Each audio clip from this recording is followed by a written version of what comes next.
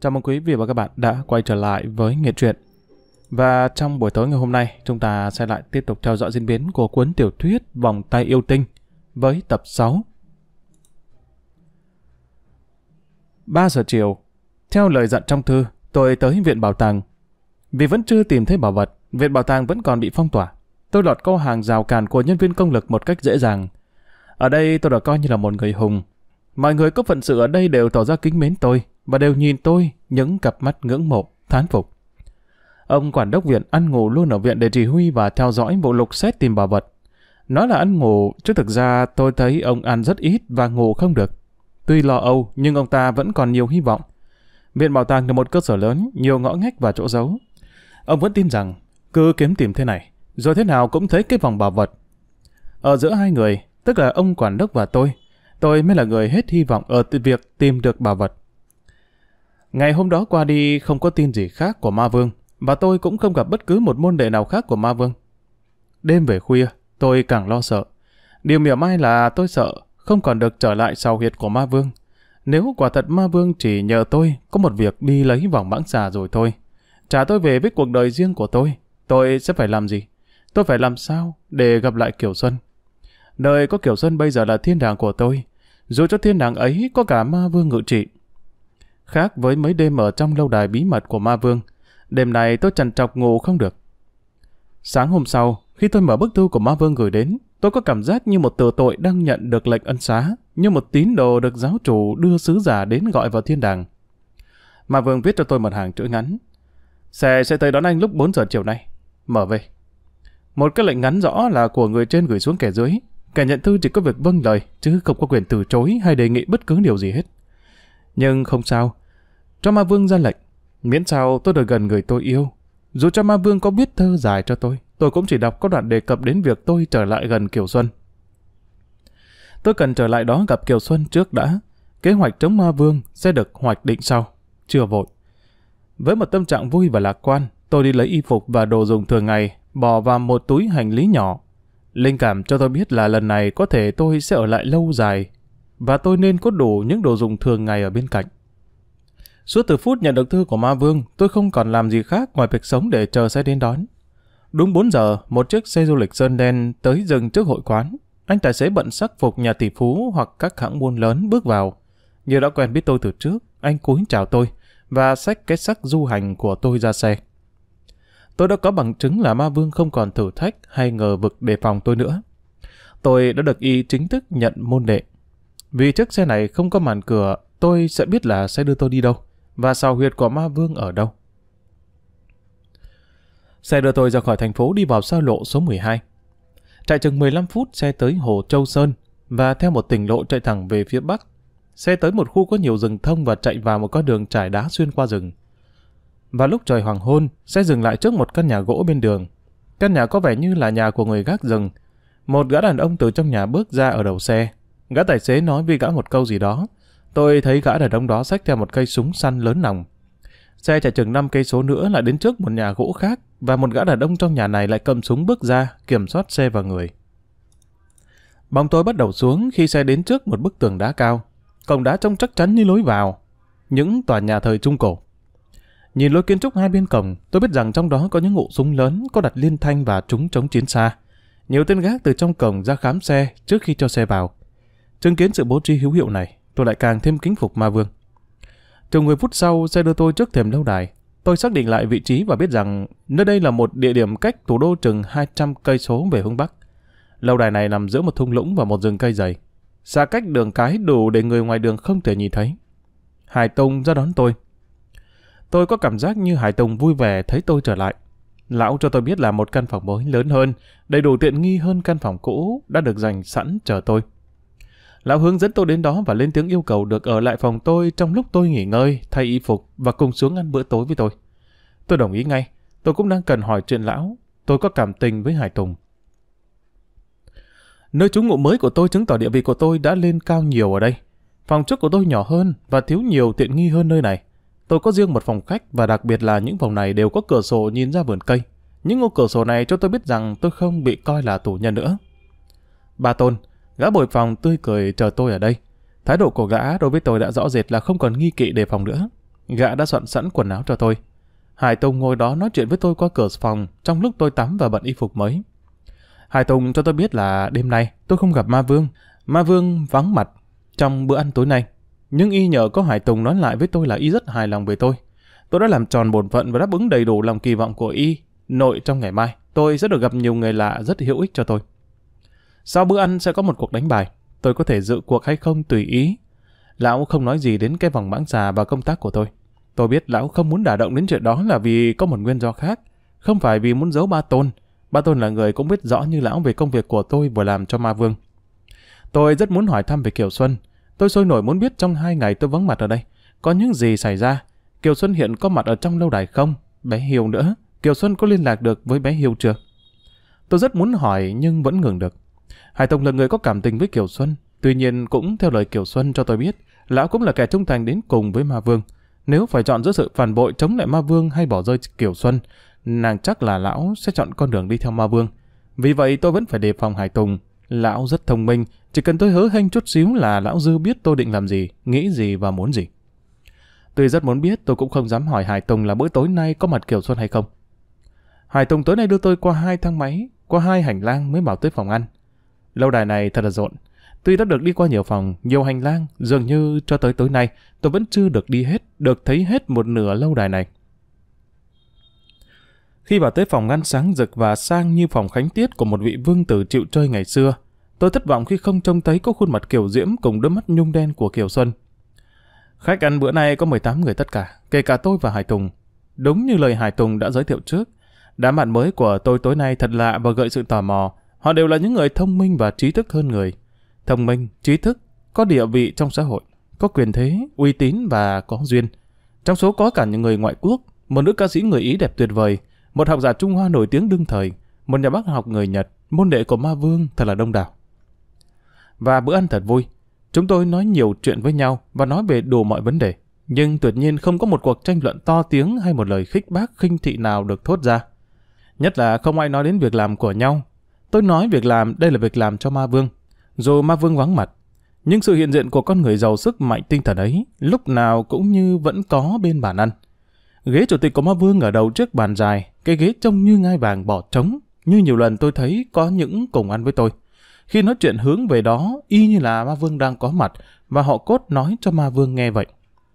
Khi không gặp Kiều Xuân ở đây, tôi chỉ muốn cho bữa ăn qua mau để trở về phòng riêng, chờ đêm khuya và bé Hiếu tới. Tôi thắc mắc không hiểu bé hiêu có biết rằng tôi thay phòng ngủ hay không, và bé hiêu có thể lần mò tới phòng của tôi hay không. Nếu được gặp bé hiêu chắc chắn tôi sẽ được biết tin tức của Kiều Xuân.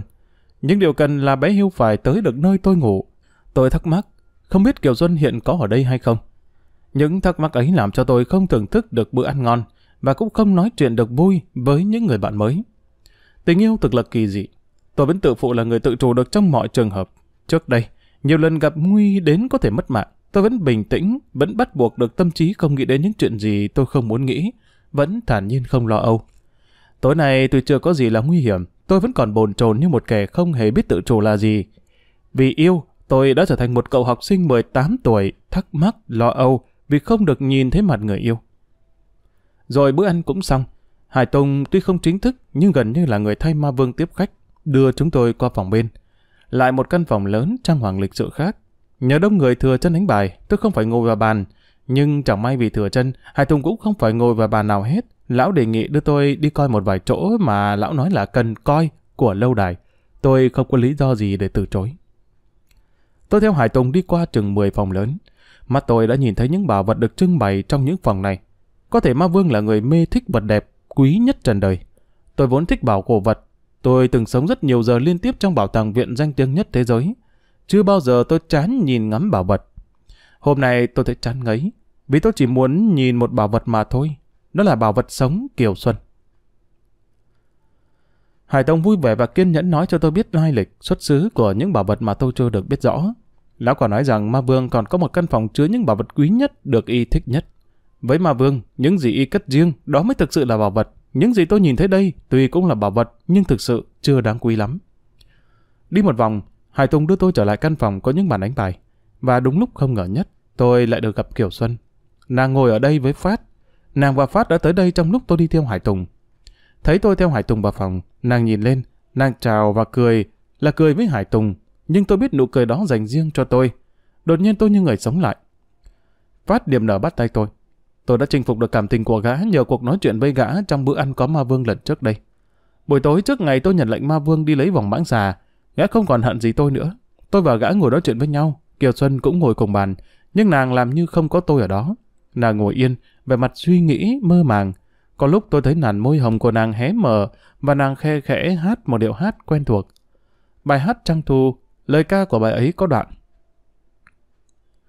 Nửa đêm trăng sáng, em đến với tình yêu và ánh trăng. Mắt em như ánh sao, hồn anh mở cửa đón chờ. Phát cũng nghe rõ tiếng nàng khẽ hát một mình, nhưng gã không hiểu gì cả, gã không thể hiểu. Không ai có thể hiểu trừ hai người yêu thương nhau, nhắn nhau qua lời ca ấy. Người nhạc sĩ khi có cảm xúc đặt lên lời ca ấy, chắc nhân một đêm hò hẹn với người yêu.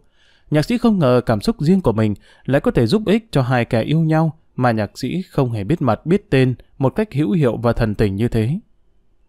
Tim tôi rộn ràng một niềm vui tràn hòa. Như vậy là Kiều Xuân đã gặp bé Hiêu. Như vậy là đêm nay nàng sẽ theo chân bé Hiêu tới phòng tôi. Đêm nay tôi sẽ được gặp riêng nàng. Hải Tùng, Phát, Kiều Xuân và tôi ngồi cùng bàn. Câu chuyện chỉ được trao đổi giữa ba người đàn ông. Kiều Xuân chỉ thỉnh thoảng mới nói, và chỉ nói khi bị ai hỏi. Rõ ràng nàng vẫn ghét mặt tôi. Hải Tùng và Phát cố tình dàn xếp cho nàng và tôi trở thành bạn, hoặc ít nhất nàng đừng ghét tôi đến thế, nhưng vô hiệu. Kiều Xuân như người vì ghét mặt tôi cho nên không cần giữ lịch sự. Nàng đưa tay lên miệng ngáp luôn luôn, rồi nàng chợt nói, xin lỗi cho tôi rút lui, 12 giờ, 12 giờ đêm nay, tôi có việc quan trọng cần làm, việc ngủ. Tuy nói đùa nhưng nàng không cười. Tôi biết chắc là nàng hẹn tôi đêm nay 12 giờ nàng tới. Nàng nói thêm như vậy vì sợ lời nhắn qua câu ca vừa rồi, có thể tôi không hiểu. Làm bộ bất mãn vì thái độ bất lịch sự cố ý của Kiều Xuân, tôi đứng dậy. Tôi cũng có việc quan trọng phải làm. Tôi nói cho nàng hiểu là tôi đã ghi nhận được lời nàng nhắn, nhưng tôi không ngủ. Đêm nay, tôi sẽ thức trắng đêm. Hải Tùng tưởng tôi nổi giận vì bị Kiều Xuân tỏ thái độ ghét bỏ quá rõ rệt, nên lão vội cắt đứt bầu không khí mà lão cho là nặng nề giữa Kiều Xuân và tôi để đưa tôi về phòng. Lần này Hải Tùng chỉ cho tôi cách mở những khung cửa bí mật trên hành lang và ở phòng tôi. Như vậy là từ nay tôi đã có thể tự đi lại được trong xào huyệt này, không cần chờ người hướng dẫn mà mở cửa dùm cho tôi nữa. Khi chỉ cho tôi cách, nơi mở cửa phòng bằng điện và lối đi, Hải Tùng lịch sự nói, bây giờ còn sớm, nếu anh muốn trở xuống phòng ngồi chơi vui với anh em thì anh cứ việc làm như thế này. Tôi cười nhạt, chắc tôi không trở xuống dưới đó nữa đâu. Nói thật với anh, tôi chịu hết nổi thái độ của cô Kiều Xuân. Lão có vẻ không được an tâm. Chú Phát đã có cảm tình với anh rồi, không hiểu tại sao Kiều Xuân vẫn cứ thù ghét anh đến thế. Chuyện hiểu lầm cũ phải bỏ qua đi chứ. Rồi đây rất có thể anh sẽ cùng làm chung một việc với Kiều Xuân. Nếu hai người cứ không chịu thua nhau như thế, làm sao mà cộng tác được? Để tôi lựa lời nói với nàng. Tôi lắc đầu. Cảm ơn anh, nhưng anh đừng làm như vậy. Anh hãy để tôi lo chiếm cảm tình của nàng. Cảm tình cá nhân là một cái gì phải tự mình làm lấy mới được. Anh nói vô, có khi chỉ làm cho mọi người thêm ghét tôi. Lão gật đầu. Anh nói có lý. Tuy nhiên anh có thể tin là tôi lúc nào cũng hết lòng giúp anh. Kể cả việc giúp anh lấy cảm tình của Ma Vương, cũng như của Kiều Xuân. Lão có vẻ thành thật. Tôi bỗng cảm thấy xúc động. Cảm ơn anh. Tôi siết chặt tay lão. Tôi vẫn nói dối và đánh lừa lão. Nhưng lời cảm ơn vừa rồi của tôi là chân tình. Trước khi ra khỏi phòng tôi, Hải Tùng còn cho tôi biết rằng sáng mai Tôn sẽ tới hầu tôi. Và rất có thể sáng mai tôi sẽ có lời mời gặp mặt Ma Vương. Đêm nay nếu có cần gì, tôi có thể dùng điện thoại ở phòng. Điện thoại này chỉ dùng để liên lạc trong lâu đài. Nhưng dù sao nó cũng cho tôi cái cảm giác là tôi không còn bị canh giữ nữa. Ba Tôn chỉ còn là kẻ hầu tôi, chứ không còn là kẻ có nhiệm vụ canh giữ tôi. Sự kiện này làm cho tôi thêm mừng rỡ và phấn khởi. Không bị nghi ngờ canh giữ nữa, tôi thêm dễ dàng được gặp bé Hiêu và Kiều Xuân. Hải Tùng đi ra, sau cùng chỉ còn mình tôi ở trong phòng. Đến gần cửa sổ, tôi thấy cửa sổ không có chấn song sắt, nhưng có một tấm lưới thép mỏng che kín. Trở vào, tôi tắt hết đèn lớn, chỉ để một ngọn đèn nhỏ để đọc sách. Tôi ngồi đọc sách, lúc đó là 10 giờ 30. Đêm trong lâu đài thật êm, thời gian qua thật chậm. Đến 11 giờ, tôi nghe đâu đó trong phòng ngủ tiếng nói khàn đặc biệt của bé Hiêu vang lên. Thiếu ta ơi, tôi tới đây. Dù đã biết trước là đêm nay bé Hiêu sẽ tới, tim tôi cũng đập hụt một nhịp trong ngực tôi. Một gánh nặng như được nhấc ra khỏi hai vai tôi. Tôi nhảy vào phòng ngủ để bầu lấy bé hiu Tôi mong chú quá. Gã cười khì, đôi mắt chuột lộ ý tinh quái. Được tin ông trở về tôi đến ngay. Bây giờ thì mình không còn sợ gì nữa rồi. Ông có quyền yên tâm. Chúng mình có thể tự do trò chuyện, khỏi sợ đứa nào tôi làm rộn. Bây giờ ông là tay chân số rách của ma vương rồi. Không ai còn nghi ngờ gì ông nữa. Bé Hiêu rút một điếu xì gà đưa lên môi, đốt lửa hút và nhìn tôi bằng đôi mắt thán phục. Tôi phải chặn bớt sự thán phục không đúng đó của gã. Những gì tôi vừa làm không phải là do tài ba của tôi. Tất cả đều là do ma vương sắp đặt trước. Gã lắc đầu. Ông lập rồi, tôi không phục ông vì chuyện ông làm cho ma vương. Tôi phục ông là về cô Kiều Xuân. Ở đây cô Kiều Xuân là nữ hoàng. Người có nhiều quyền hành nhất ở đây, sao ma vương là cô Kiều Xuân. Tuy thân ở đây nhưng mà linh hồn cô Kiều Xuân như bay bổng ở một vùng trời nào khác. Cô ấy không hề để mắt đến ai, không thèm lưu tâm đến ai. Ông mới tới có một ngày một đêm, cô ấy đã yêu ông rồi. Nếu ông không tài hoa, làm sao có chuyện đó? Khi cô Kiều Xuân đến gặp tôi, tôi ngạc nhiên đến nỗi lúc đó ông chỉ cần đẩy nhẹ một cái là tôi cũng té ngửa. Cô ấy ra lệnh cho tôi. Tôi đến phòng chàng không tiện, chú hãy đưa chàng tới gặp tôi. Bất cứ lúc nào chú có thể. Bất cứ giờ nào. Tôi mong gặp chàng cả trong khi tôi ngủ. Tôi thức ngủ 2 giờ giấc không thành vấn đề. Chú mang chàng tới gặp tôi lúc nào chú thấy không có gì nguy hiểm cho chàng. Nhưng nàng dặn dò tôi, đừng để cho chàng bị nguy hiểm. Nàng nóng gặp ông lắm. Hồi đấy tôi gặp nàng, nàng có nói cho tôi biết là nàng chờ tôi ở phòng nàng lúc 12 giờ đêm nay. Ông yên trí đi, tôi sẽ đưa ông tới phòng nàng trước nửa đêm nay. Ông đã có kế hoạch nào đặt tầng cha đó chưa? Tôi do dự. Thực ra những ý nghĩ của tôi vẫn còn mơ hồ. Tôi chưa thể trình bày được gì rõ rệt ngay lúc này. Ma Vương là một địch thủ quá ư nguy hiểm, không thể khinh suất cũng không thể liều lĩnh, nhất là trong vụ này còn có mạng sống của Kiều Xuân. Tôi thành thật đáp bấy hiếu. Chưa có kế hoạch nào cả. Tôi chưa biết được rõ những gì tôi cần biết về Ma Vương, nên chưa hoạch định được kế hoạch đối phó với hắn. Tôi cần có cơ hội đi khắp xào huyệt này. Tuy nhiên tôi có thể nói trước với chú rằng, nếu cần hy sinh mạng sống của tôi để cứu cô Kiều Xuân khỏi tay Ma Vương, tôi sẽ hy sinh. Nhưng nếu tôi chết thì Ma Vương cũng phải chết. Gã kéo xích ghế lại để ngồi gần tôi hơn. Giọng nói của gã trở nên thành khẩn sợ hãi. Không liều chết được đâu ông ơi. Nếu liều mà làm chết được hắn, nhiều kẻ ở đây đã liều rồi. Phải có cách nào khác chứ mình chết mà hắn vẫn sống, chết uổng. Tôi trấn an gã. Chỉ cùng lắm tôi mới phải liều. Còn bây giờ tôi nghĩ rằng chúng ta chưa có gì bắt buộc phải hành động gấp rút lắm. Mà Vương đã bắt đầu tự tin tôi. Cô Kiều Xuân chưa đến nỗi bị nguy hiểm lắm. Chúng ta cứ từ từ mà tiến tới. Đôi mắt bé Hiêu rưng rưng lệ. Nếu ông phải dùng đến kế tự sát ấy, ông tin rằng có tôi bên ông. Gã làm tôi xúc động. Tôi vỗ nhẹ vài gã. Không nên, chỉ một mình tôi liều với ma vương là đủ rồi. Chú phải sống để đưa cô Kiều Xuân yên lành ra khỏi nơi đây. Tôi chỉ can đảm hy sinh nếu biết chắc là chú sẽ đưa cô Kiều Xuân ra đi. Gã vẫn hoàn cố. Không, tôi muốn thuật thần lắm. Muốn làm theo lời ông. Nhưng không được. Đến giờ hành sự có tôi bên ông. Có điều tôi sợ rằng súng đạn không biết có giết nổi hắn không. Tôi tỏ vẻ bất mãn. Chú lại nói nhăng rồi. Mới hôm trước, chính chú nói với tôi rằng hắn cũng chỉ là người thường. Mũi ra viên đạn xuyên vào ngực hắn là hắn cũng chết như bất cứ ai. Sao bây giờ chú lại đổi giọng vậy? Gã thẫn thờ. Lần trước, tôi nói vậy là nói dóc. Tôi hạ ra hắn để khỏi sợ hắn quá. Đôi khi tôi hoang mang, không biết hắn thực sự là người hay là quỷ. Sao thân thể hắn to lớn quá như vậy? Nếu hắn cũng là người thường như mình, sao thân thể hắn to lớn đến thế? Nỗi lo sợ trong tôi gia tăng với lời nói của bé Hiêu. Tôi chỉ có một mình, bé Hiêu là đồng minh. Nếu gã tin rằng ma vương không phải là người thường thì tôi khó nhờ cậy hay tin tưởng gì nhiều được ở gã. Bàn tay sắt của ma vương như đã siết chặt cần cổ bé Hiêu. Tôi thử chế nhạo gã. Chán thật. Tôi vẫn tưởng chú là tay giang hồ trên không sợ trời, dưới không sợ đất. Quỷ thân đều phải chạy mặt. Nếu chú tin ở chuyện hắn là ma vương từ địa ngục hiện hình lên đây thật thì hết nước nói rồi. Bé Hiêu mà cũng sợ ngáo hộp ư. Chuyện lạ thế giới. Gã giàu dĩ. Có thể hắn không phải là ma vương chính cống nhưng hắn không ra lạ gì với quỷ dữ. Tôi bắt đầu bực dọc thực sự. Một lý do chính làm tôi không vui là khi cãi lý với bé Hiêu, tôi cũng cãi lý với chính tôi. Trong thâm tâm, chính tôi cũng sợ rằng ma vương không phải là người thường. Tôi cũng sợ cũng nghĩ như bé Hiêu thôi. Có điều gã nói ra, mà tôi thì không. Vì vậy tôi gắt. Nếu chú sợ hắn như vậy thì thôi, đi về đi. Về mà thắp hương thờ hắn, khấn vái hắn. Tôi không nhờ cậy gì được chú. Tôi không tin được chú, để tôi rảnh tay đối phó với hắn. Quỷ hay là người, tôi cũng quyết hạ hắn. Tôi tưởng câu nói của tôi là máy hưu giận dỗi, nhưng không, gã vẫn chỉ giàu dĩ. Nhưng hắn nói, ông không cần khích tôi. Tôi đã nói tôi ở bên cạnh ông. Tôi sẽ có mặt bên ông. Cho dù có chuyện gì xảy ra chăng nữa, có điều tôi vẫn sợ. Khi nói câu đó, thái độ và vẻ mặt của bé Hiêu có một cái gì hiên ngang hào hùng, làm cho tôi xấu hổ đến nóng mặt. Sợ, nhưng vẫn quyết tâm. Sợ nhưng vẫn không lùi. Bé Hiêu mới thực sự là người can đảm cao độ, can đảm đến cùng. Tôi siết chặt tay gã. Xin lỗi chú, nhưng nếu chú sợ thì tôi nguy. Phải không sợ mới hy vọng thắng được kẻ thù chứ. Gã ngắt lời tôi. Ông không cần xin lỗi, cũng như không cần khích tôi. Tôi sợ là vì ở đây có rất nhiều chuyện, nhiều cảnh ông chưa thấy mà tôi đã thấy. Cũng nên đưa ông đi, để ông thấy vài cảnh cũng không hại gì. Mấy giờ rồi ông? 11 giờ 20. Tôi đáp, chúng mình có hẹn lúc 12 giờ. Hơn nửa giờ chú đưa tôi đi coi có đủ không? Được chừng nào hay chừng đó, ông bận bộ đồ xám này không được, ông nên thay bộ đen. Tôi thay y phục thật nhanh. Ông có súng không? Có đây. Tôi móc khẩu súng lục ra cho gã coi. Khẩu súng này đã bị Hải Tùng tước mất trong đêm tôi bị bắt cóc, nhưng đã được Hải Tùng trao trả lại. Tôi ngạc nhiên khi thấy bé Hiếu nói, bỏ súng lại đi ông. Sao vậy? Không nên mang súng theo, sẵn súng vẫn có thể đem ra dùng. Gã lắc đầu.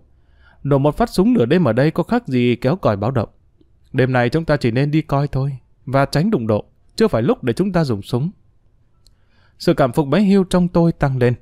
Gã nói đúng, nhiều kẻ bị chết vì có súng trong tay. Khẩu súng trong tay tôi lúc này chỉ là một vật có hại nhiều hơn có lợi. Tôi bỏ khẩu súng vào lòng cái bình hoa trên bàn và tháo bao ra, bỏ xuống dưới gối. Bây giờ mình đi chứ? Gã rút ra túi một cái cặp giày nỉ, đế cặp su. Ông mang cặp giày này đi cho em. Tôi mang giày vào chân. Chờ hết bé yêu lại móc trong túi ra một vật khác đưa cho tôi. Một cặp bàn tay sắt trông đẹp như một món đồ trang sức. Tôi lồng những ngón tay vào hai bàn tay sắt đó. Bé yêu dặn dò. Cầm dụng của nó không bằng súng, nhưng em thấm hơn. Nếu phải dùng đến nó, chúng ta đánh thật nhanh, chuẩn em, lấy bất ngờ làm ưu thế. Đồng ý, hoàn toàn đồng ý. Chúng ta đi. Gã tắt tốt ngọn đèn nhỏ trong phòng. Gã nắm tay tôi, dắt tôi tới tấm vách trong phòng ngủ. Tới đây gã còn dặn nhỏ tôi. Đặt tay lên vai tôi, tuyệt đối đừng nói gì nhé. Tôi không nghe thấy một tiếng động lạ nào phát ra từ tấm vách. Vậy mà một mảng vách đã chuyển dịch sang một bên, để lộ một lối đi. Tôi theo bấy hiêu bước qua nơi vài giây đồng hồ trước còn là một bức vách dày. Bé Hiếu dừng lại để đóng vách lại như trước, rồi gã bước sang bên trái, tôi bước theo gã. Tôi đếm được 50 bước thì thấy gã đứng lại. Gã chớp đèn bấm. Tia sáng phát ra chỉ như ánh sáng của một con đom đóm. Đã quen mắt với bóng tối. Tia nắng từng ngọn đèn bấm ngỏ nhỏ xíu trong tay bé Hiêu cho tôi nhìn thấy trước mắt tôi là một cửa thang máy. Gã bóp nhẹ tay tôi và dắt tôi vào thang máy. Thang hạ xuống, gã thốt ra một hơi thở nhẹ như bớt lo sợ. Gã nói nhỏ vào tai tôi. Nguy nhất là đoạn đường mình vừa đi qua, từ đây là đỡ rồi. Thang máy đi xuống rất chậm. Khi thang ngừng tôi ước lượng nơi đây phải là một nơi ở sâu trong nền của tòa nhà lâu đài. Chắc chắn nó phải ở dưới hành lang, có cửa chính vào tòa lâu đài. Bé Hiêu lại nói nhỏ. Đường này là một đường bí mật. Tôi tin là cả lão già Hải Tùng cũng không biết. Đi đường này mình chỉ sợ gặp có ma vương mà thôi. Mà tôi tin rằng giờ này không đi đường này. Chính vì lý do đó mà tôi mới đưa ông đi đường này. Chúng tôi ra khỏi thang máy. Tôi theo gã đi qua một lối rộng chừng 5 thước, dài chừng 20 thước. Hết lối đi, bé hưu lại dừng bước. Rồi tôi thấy trong bóng tối dày đặc trước mặt có một vệt sáng mờ hiện ra. Một khung cửa từ từ mở ra giữa tấm vách ngay trước mặt chúng tôi. Kẽ hở mở lớn ra thật chậm, bóng bé hưu hiện ra giữa khung sáng ấy. Gã thận trọng thò đầu qua cửa nhìn vào bên trong. Khi đã thấy rõ không có ai hay có dấu hiệu gì khả nghi bên trong, gã mới gật đầu ra hiệu cho tôi bước theo. Chúng tôi đang đứng trong một hành lang hẹp, chỉ một người đi vừa. Hành lang này có đèn mờ, không rõ ánh sáng từ đâu tới, chỉ thấy sáng lờ mờ như ánh trăng xuông. Tôi để ý nhìn và thấy vách hành lang là bằng một thứ ván gỗ màu nâu, và lối đi thoải dốc xuống dần. Đi hết hành lang này, chúng tôi thấp hơn đầu hành lang bên kia đến 10 thước. Như đường xuống âm ti, bé Hiêu nói nhỏ, ông thấy không, lát nữa ông sẽ thấy âm ti. Gã đi thẳng tới, tôi đi theo sát gót gã, rồi chúng tôi lọt vào một góc tối. Tới đây bé Hiêu dừng lại, dí sắt miệng vào tai tôi, gã thầm thì. Nằm sấp xuống mà nhìn, đừng nói gì hết, thở cũng phải thở nhẹ nhẹ. Tôi nằm xuống theo bé Hiêu. Nằm xuống tôi mới thấy một kẽ hở như một vết nứt. Qua kẽ hở đó, mắt tôi nhìn xuống căn phòng bên dưới. Cảnh vật mắt tôi nhìn thấy đó làm cho tôi dùng mình và tóc tôi dựng đứng lên. Dưới tôi chừng 20 thước, mà Vương đang ngồi trong một cái ngai lớn bằng đá đen phủ nhung đỏ, y bận một áo đỏ trói, đỏ như máu tươi. Dưới chân ngai, tên nô lệ vệ sĩ da đen tên là A Cốc, tôi đã thấy tên này ở trong đêm lê cát bước lên đài may rồi, đứng sừng sững, hai tay khoanh trước ngực. Hai bên ngai của ma vương có hai mụ đàn bà mang mạng đen che kín đầu và mặt. Hai mụ này bưng một bình bạc và một cái ly cũng bằng bạc. Dưới chân ngai và cũng là dưới chân ma vương có một người đàn bà quỳ gối. Người đàn bà này không còn trẻ lắm nhưng cũng chưa già. Trước đây 10 năm, bà này là một người đàn bà đẹp. Thân thể nàng thấp thoáng trong bộ áo trắng mỏng, vẫn là một tấm thân đàn bà đẹp và khêu gợi. Đôi mắt nàng mở lớn, nhìn ngay lên bình bạc và cái ly bạc trên cao. Miệng nàng hé mở thèm thuồng. Nàng như vậy trấn tĩnh nhiều để khỏi trôm lấy vô bình bạc và ly bạc do hai mụ đàn bà kia bưng trên tay. mà Vương là một cử chỉ, hai mụ đàn bà lặng lẽ đổ chất nước ở lòng bình bạc ra ly bạc. Người thiếu phụ khi trông thấy chất nước dướn mình lên như muốn vồ lấy. Nhưng A Cốc, tên Hắc Nô, đã đặt nẹt sợi roi làm bằng tóc đàn bà lên vai nàng và làm nàng trùn lại. Ma Vương đỡ lấy cái ly bạc, y giơ cao lên. Người đàn bà kia, ngươi tên là gì? Giọng nói của Ma Vương tuy sang sảng nhưng vẫn vô hồn. Trái lại giọng người đàn bà rung động và đứt quãng. Tôi tên là Ái Liên. Tôi đã nhận ra nàng. Ái Liên là một nữ kịch sĩ nổi tiếng nhất trên sân khấu kịch nghệ cách đây 20 năm. Màn kịch bên dưới tiếp diễn. Ái Liên, ngươi biết ta là ai? Ngài là Ma Vương. Ta là gì của ngươi? Ngài là chúa của tôi. Tôi cảm thấy bé hưu dùng mình và tôi cũng dùng mình. Ngươi có mấy chúa? Tôi chỉ có một chúa. Chúa của ngươi là ai? Chúa của tôi là Ma Vương. Ngươi chịu hy sinh những gì cho Ma Vương, chúa của ngươi? Tôi hy sinh hết cho Ma Vương, chúa của tôi. Ái Liên, ngươi muốn gì? Hai tay chắp lại trước ngực, Ái Liên như muốn dùng bàn tay giữ chặt lấy trái tim, giọng nàng rung động và nhỏ đến nỗi tôi gần như không nghe rõ. Tôi muốn gặp lại một người đàn ông và một đứa trẻ. Hai người đó hiện ở đâu? Hai người đó đã chết. Ta sẽ dùng quyền lực của ta làm cho hai người đó sống lại vì ngươi. Uống đi. Trong giọng nói của ma vương khi y nói với người thiếu phụ lời đó như có âm thanh mỉa mai chế nhạo. Y đưa cái ly bạc ra trước mặt người thiếu phụ và nàng đỡ lấy ly bằng cả hai tay, đưa lên miệng uống cạn ngay cái chất nước trắng trong đó. Rồi nàng đặt ly xuống dưới chân ngay, cúi chào thật thấp và bước đi. Nàng đi ra ngoài vùng mắt nhìn của tôi. Hình ảnh cuối cùng của nàng mà tôi thấy là nàng đi, mặt ngẩng cao mắt, và vẻ mặt như người xuất thần, môi lẩm bẩm như nói với người vô hình nào đó cùng đi bên nàng. Tôi lại thấy lạnh người. Thái độ của ma vương, giọng nói của y trong cuộc đối đáp với người thiếu phụ vừa qua, có một vẻ gì thật là ma quái. Ý nghĩ nhất định ma vương cũng chỉ là một người đàn ông bằng xương bằng thịt, có sống có chết như tất cả mọi người đàn ông ở cõi đời này của tôi rung động và giảm đi mỗi lúc một nhiều. Tôi cố nhìn theo người thiếu phụ, cho tới lúc mắt tôi không còn có thể thấy nàng nữa. Căn phòng bên dưới thật rộng.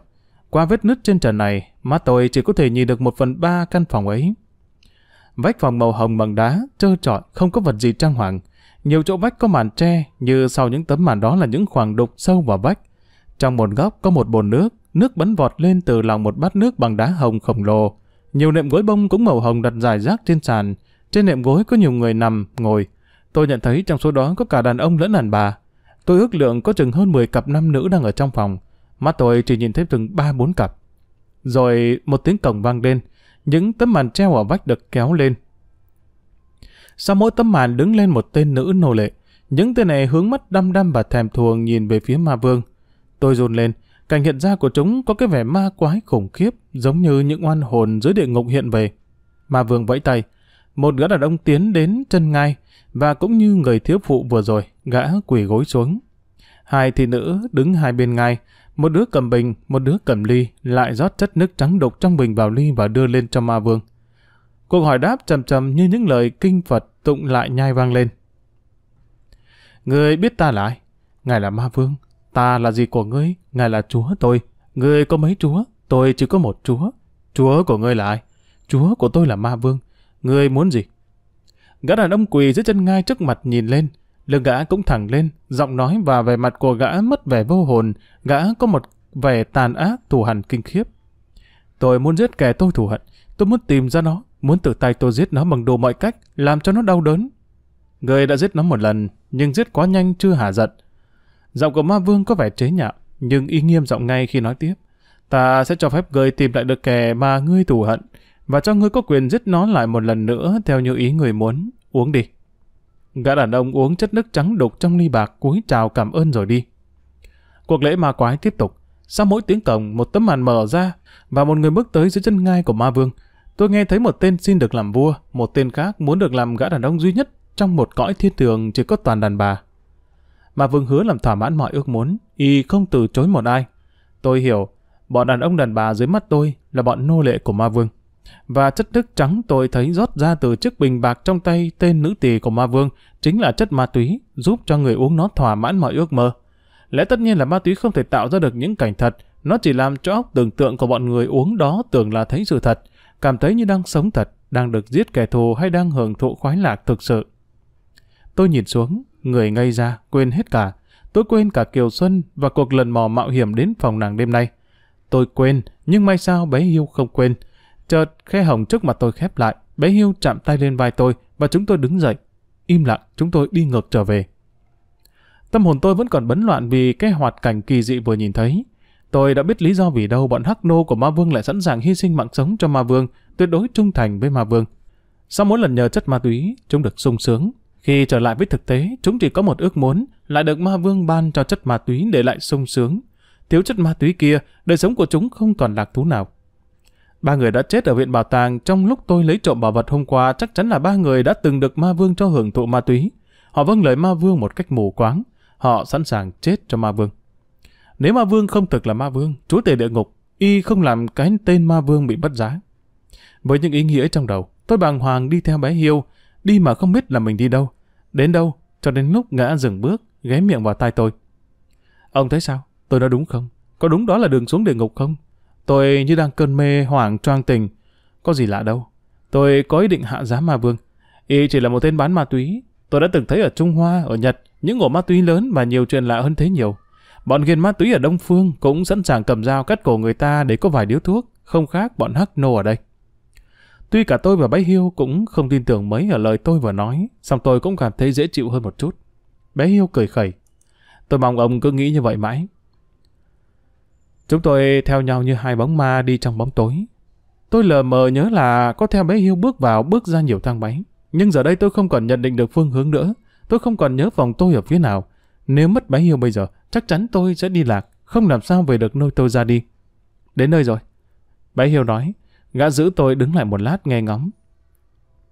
Tôi thò tay vào túi, lấy ra chiếc đồng hồ tay. Mặt dạ quan của đồng hồ cho tôi nhìn được giờ giấc trong bóng đêm. Bây giờ là 12 giờ 15. Bé Hiếu kéo tôi bước theo. Tôi ngửi thấy trong không khí có một mùi thơm nhẹ nhàng. Mùi thơm từ da thịt Kiều Xuân. Tôi đã ở trong phòng nàng. Bất giác tôi thốt thành tiếng. Đúng là nàng rồi. Ai đó? Tiếng nói của Kiều Xuân vang đến tai tôi. Nàng nói nhỏ, giọng không có âm thanh ngạc nhiên hay sợ hãi. Tôi, Huy Giang đây. Tôi vội vã trả lời nàng. Anh, một ngọn đèn mờ nhỏ sáng lên. Sao đến muộn vậy? Em chờ lo muốn chết. Kiều Xuân đang ngồi trên giường. Người đang nhô lên trên đống mền gối, đôi mắt nhung đen mở rộn và sáng long lanh, mái tóc dài xòa xuống hai vai. Lúc này, nàng có một vẻ đẹp khác. Nàng là người đẹp nhất mà tôi đã từng được gặp, được gần. Mỗi lần gặp nàng, tôi lại thấy nàng đẹp hơn. Tôi thắc mắc, không biết tôi còn thấy nàng đẹp hơn đến chừng nào nữa. Nàng bận chiếc áo ngủ màu lụa hồng. Từ đây về sau, cho đến hết đời, tôi biết tim tôi sẽ đập mạnh. Mỗi lần tôi trông thấy một chiếc áo ngủ lụa hồng, dù chỉ là chiếc áo được bày hàng trong tủ kiếng. Nàng lẹ làng ra khỏi giường, chạy tới ôm chầm lấy tôi, hôn tôi. Tôi quên tất cả mọi chuyện khác. Một lúc sau, không biết dài ngắn bao lâu, tôi nghe thấy tiếng động lạ sau lưng. Quay lại, tôi thấy bé Hiếu đứng đó, hai tay chắp trước ngực. Gã đang vừa cười vừa khóc. Bé Hiếu là một tên đạo trích giàu tình cảm. Kiều Xuân nhìn gã, nàng cười nói như một thiếu nữ tinh quái. Nếu anh cần nói xứng đôi vừa lứa, thì cứ việc nói đi. Bé Hiêu cũng cười, giọng chiều mến. Làm tôi nhớ lại Marie và tôi, ngày bọn tôi mới yêu nhau, cũng vậy. Già dít, xa nhau một phút, gặp lại nhau là lại ôm nhau hôn nhau, ấm lòng lắm. Đến lượt tôi nhớ lại thực tế, tôi nhìn quanh và hỏi chung cả bé Hiêu lẫn Kiều Xuân. Xong rồi, để bao giờ ba đứa mình thoát được ra ngoài, tha hồ mà ra dít với xứng đôi. Bây giờ thì phải lo đề phòng chúng mình bị người khác bắt gặp. Có thể có ai biết được trong phòng này có người lạ không? Không đâu. Nàng đáp. Người ở đây có thể kỳ lạ, nhưng toàn là người lịch sự, tuyệt đối tôn trọng đời tư của nhau. Nếu không có lời mời nhau đến phòng, không ai tới phòng nhau lúc nửa đêm. Về việc có người nghi anh tới đây đêm nay nữa thì lại càng không lo. Vì Huy Giang và Kiều Xuân là hai kẻ ác cảm với nhau nhất đời, hai người đó nhìn vào nhau còn không muốn, đâu có mất công đêm khuya tới thăm nhau, và mất công... Nàng hôn tôi. Hôn nhau như thế này. Tôi hỏi riêng bé Hiêu, còn chú có sợ bị nửa đêm người ta phát giác ra chu vắng mặt không? Như họ mở cục kiểm soát chẳng hạn. Gã lắc đầu, không sợ. Trừ khi có đại biến. Nếu có kẻ thấy tôi, tôi không ngủ ở trong giường cũng không sợ. Tôi có thể nói là tôi đi kiểm soát hệ thống điện ban đêm. Chỉ có mà vương biết rõ việc tôi làm mà thôi. Kẻ khác không có quyền dòng ngó. Nghe lời gã, tôi thấy có hại và nhược điểm của ma vương. Bao nhiêu quyền hành ở đây đều tập trung trong tay y, không có kẻ nào có quyền hành gì với người khác trừ y ra. Ma vương không thể tin ở ai, không cho phép mọi người biết đến việc làm của nhau, do đó không có sự dòm chừng nhau. Càng tốt. Nhưng dù sao, tôi nói, chúng mình cũng phải đề phòng tối đa. Chúng mình chỉ nên nói chuyện trong bóng tối và nói thật nhỏ. Kiều Xuân đưa tay tắt ngọn đèn ngủ bên giường, rồi nàng đi tới kéo nhẹ tấm màn che cửa sổ. Ánh trăng mới từ đỉnh núi cao bên ngoài xa kia chiếu vào phòng. Ba chúng tôi tới ngồi sát bên nhau, trên cây ghế dài ở góc tối nhất của gian phòng ngủ thơm và ấm cúng. Chúng tôi bàn kế hoạch, góp ý kiến. Nhưng dù có bàn đến cả đêm hoặc bàn đến đêm mai, chúng tôi cũng chẳng đi đến đâu. Không có kế hoạch nào khả dĩ tin tưởng là thành công được thành hình. Đôi khi, chúng tôi cũng đưa ra được vài kế hoạch. Thoạt đâu thì thấy hấp dẫn, nhưng chỉ xét sâu đến tác dụng và hậu quả thì lại thấy hỏng. Tôi có cảm tưởng như ba chúng tôi là ba con ruồi, bị mắc trong một màng lưới nhện, càng vùng vẫy càng chóng chết, nhưng nằm yên rồi cũng chết. Tiếng kêu nặng những kinh hoàng. Tôi nhảy tới sau lưng bé Hiêu. Một tia sáng chiếu thẳng vào mặt bé Hiêu. Một bàn tay từ bóng tối bay ra như một con rắn độc, bay tới chụp vào cổ bé Hiêu.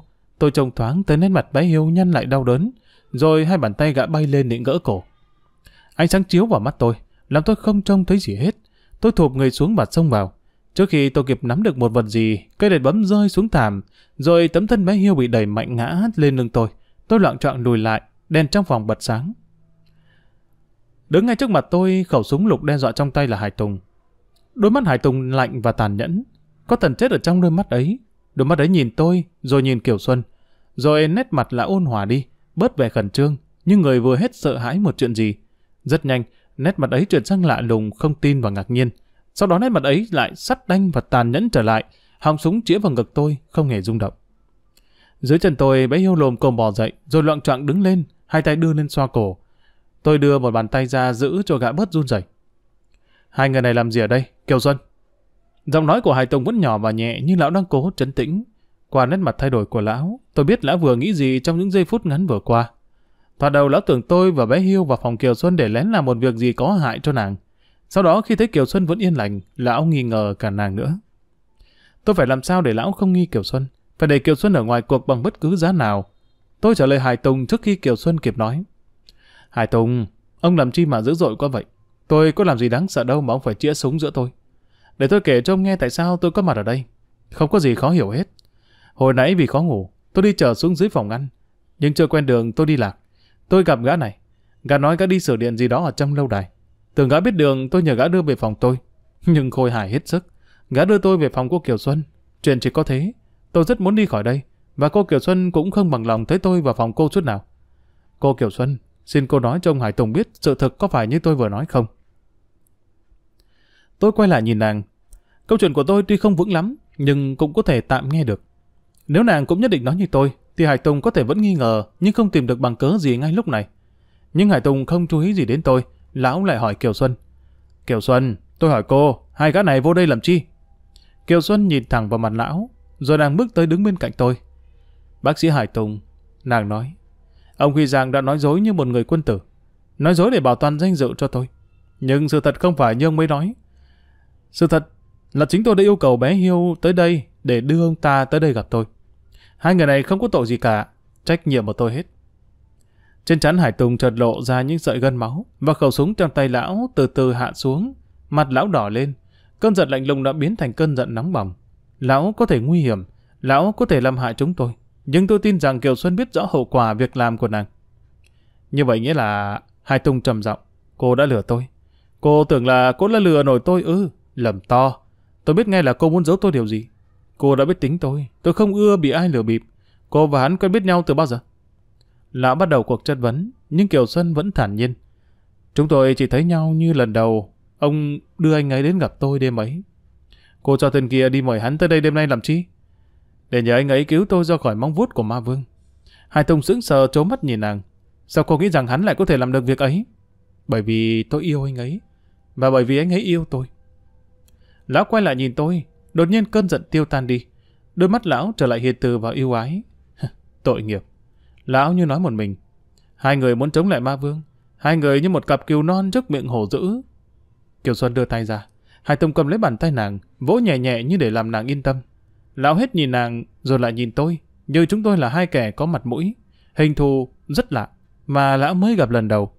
Rồi lão đi tắt hết điện trong phòng, chỉ để ánh sáng ngọn đèn ngủ bên giường Kiều Xuân. Lão đi tới bên cửa sổ, hé màn tre nhìn ra ngoài, xong lão trở lại với chúng tôi. Lão ra hiệu cho chúng tôi lại gần. Lại đây các bạn, chúng ta cần bàn chuyện này. Chú hiêu, tôi xin lỗi đã làm chú đau. Tôi cũng xin lỗi đã coi thường chú. Còn Kiều Xuân, tôi không nghi ngờ gì cô. Tôi không tới để dình dập cô. Tôi chỉ thấy cô có tâm sự gì khó giải quyết. Tôi biết cô đang buồn, đang lo sợ, nhưng cô không nói với tôi. Xong tôi nghĩ thế nào cô cũng nói cho tôi biết cô lo sợ gì. Tôi suy nghĩ về cô nhiều nên không ngủ được. Tôi nghĩ cô có thể đang nằm khóc, nên tôi tới, định mở hé cửa coi cô ngủ yên hay thức. Không ngờ cánh cửa vừa mở ra trước mặt tôi. Tôi nhìn thấy bóng đàn ông lạ, và chuyện xảy ra, cũng may chưa có gì đáng để ta phải ân hận cả. Tôi đưa tay ra bắt tay lão, ngỏ ý quên thù hằn qua cái bắt tay ấy. Lão siết chặt tay tôi. Bé Hiêu thì đứng nghiêm chào và hỏi, thưa tôi nên rút lui hay là ở lại? Chú ở lại đây đã. Hai Tùng đáp, và lão hỏi tôi, Huy Giang, anh biết chú Hiêu này lâu chưa? Bé Hiêu đỡ lời tôi, thưa bác sĩ khá lâu, ông ấy cứu sống tôi, ông ấy là ơn cứu tử. Tôi quyết đền ơn ông Giang, cho dù có phải chết. Khi tôi được biết rằng sự đền ơn của tôi có thể ảnh hưởng đến cả cuộc đời của cô Kiều Xuân, tôi lại càng thêm hăng hái và quyết chí. Tôi kể vắn tắt cho Hải Tùng nghe sự liên lạc giữa tôi và bé Hiêu.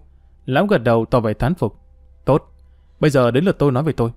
Tôi là thủ hạ của Ma Vương. Tôi có bổn phận phục vụ ông vì một lời thề nguyền rất nặng. Tôi đã tự ý thốt ra lời thề ấy, không hề bị bắt buộc. Tôi chịu hết hậu quả việc tôi làm. Tôi đã tới tự nguyện làm đệ tử của Ma Vương, chứ không như anh bị bắt buộc tới. Tôi nhìn nhận rằng anh không hề tuyên thệ trung thành với Ma Vương, mà dù anh có thể nguyện đi chăng nữa, lời thề của anh không có giá trị, vì anh bị cưỡng bách, không thể trung thành không được. Anh có quyền làm đủ mọi cách để tự giải thoát, nhưng tôi không thể làm được như anh. Tôi không thể làm phản lại những gì tôi đã hứa. Ngoài ra tôi còn tin chắc rằng nếu tôi không là đệ tử của Ma Vương, tôi sẽ không sống được lâu. Mà tôi thì rất muốn được sống. Cuộc sống của tôi, nhờ Ma Vương, đã cho tôi hưởng thụ hạnh phúc. Những hạnh phúc mà nếu không có Ma Vương, thì tôi không thể nào được hưởng. Trước khi tới với Ma Vương, tôi là kẻ sống mà cũng như chết. Ma Vương cải tử hoàn sinh cho tôi. Anh hiểu đầy nhờ anh cứu cho khỏi chết, ghi ơn anh và trung thành. Hy sinh với anh chừng nào, tôi, đối với Ma Vương cũng thế. Nếu anh thông cảm được với lòng anh hiêu chắc chắn anh cũng thông cảm được lòng tôi với Ma Vương. Tôi nói rõ ràng như vậy, để anh hiểu rằng tôi không hứa hẹn giúp đỡ gì anh và Kiều Xuân hết. Tôi chỉ có thể giúp các người bằng cách báo cho các người biết những nguy hiểm sắp tới với các người và nhắm mắt làm ngơ những gì tôi biết về việc làm của các người, như việc đêm nay chẳng hạn. Thưa bác sĩ, tôi nói với lão, được ông giúp như vậy đã là quá nhiều lắm rồi. Thật ra tôi không dám mở miệng yêu cầu ông giúp cho như thế. Hải Tùng thốt ra một tiếng thở dài, chất chứa nhiều lo âu trước khi nói tiếp. Điều quan trọng thứ hai tôi cần nói với anh là, theo như tôi nghĩ, theo những hiểu biết của tôi, anh khó có thể thắng Ma Vương. Không thể thắng mà là thua thì cầm chắc. Con đường anh chọn đi đó là con đường dẫn đến cái chết. Chết thê thảm, ghê rợn. Tôi biết anh can đảm có thừa, nhưng can đảm không đủ giúp anh thắng được Ma Vương. Tôi cần nói thế trước mặt Kiều Xuân, để cho nàng biết. Để nàng suy nghĩ trước khi bằng lòng chấp nhận để cho người nàng yêu dấu bước vào con đường chết. Lão kết luận sau khi vài giây yên lặng. Tôi mong hai người tìm một lối thoát khác. Tôi nhìn vào mặt Kiều Xuân, làn môi nàng run run và đôi mắt nàng biểu lộ sự đau đớn. Còn lối thoát nào nữa không? Nàng run giọng hỏi, tiếng nhỏ như tiếng thì thầm. Tôi trả lời thay cho Hải Tùng, có một lối thoát. Đó là em trở thành vợ ma vương, nhưng em chỉ có thể chọn lối thoát đó sau khi tôi chết. Hải Tùng giơ tay ra ngăn tôi lại. Đừng vội bi phẫn, hay nghe tôi nói, tôi chưa nói hết mà. Tôi không cho việc Kiều Xuân trở thành vợ ma vương là một lối thoát đâu. Có vẻ do dự, ngần ngại, Hải tông liếc mắt nhìn bé Hiêu, nhưng ngay sau đó lão vội nghĩ sang chuyện khác. Đúng ra là lão nghĩ tiếp về những gì lão sắp trình bày với chúng tôi. Anh nên biết rằng tôi muốn anh thắng. Đúng hơn là tôi muốn anh thoát tay ma vương.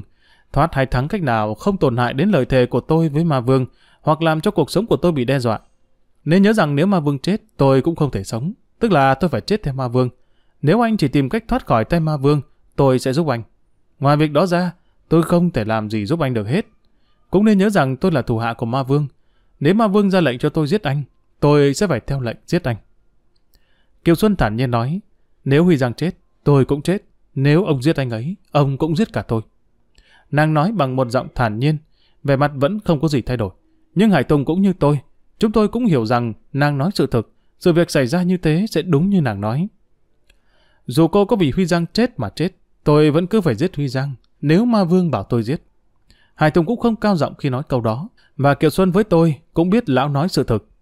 Im lặng một lúc, chợt Kiều Xuân lên tiếng. Hải Tùng, hồi nãy ông vừa nói sắp đến một lối thoát nào khác. Hải Tùng vội ngắt lời nàng.